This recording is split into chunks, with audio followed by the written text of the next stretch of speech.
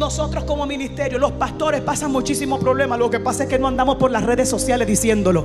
Decir nuestros problemas es decirle a Satanás, mira lo que tú estás logrando. Antes de tú poner tus problemas por las redes sociales. Antes de tú decirle al mundo, estoy pasando por esto, comienza a decir lo que Dios va a hacer. Comienza a profetizar sobre tu casa. Tu casa, tu familia y tu generación es bendecida a través del sacrificio de Jesucristo.